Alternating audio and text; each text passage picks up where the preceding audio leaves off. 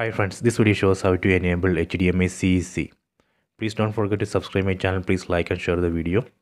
Go to settings. Select the settings icon. Select device preferences. Select HDMI CEC. Then enable CEC switch. Done. Using this HDMI CEC feature, we would be able to control all devices using single remote control. So that is a feature. So we need to connect all devices using HDMI cables. Then we can control all these devices using one remote control. So we can connect uh, devices like TV, uh, set-top box, uh, soundbar using HDMI cables. If required, we need to enable HDMI ARC in soundbar. Then we would be able to control all these devices using one remote control. So first we have to enable this feature.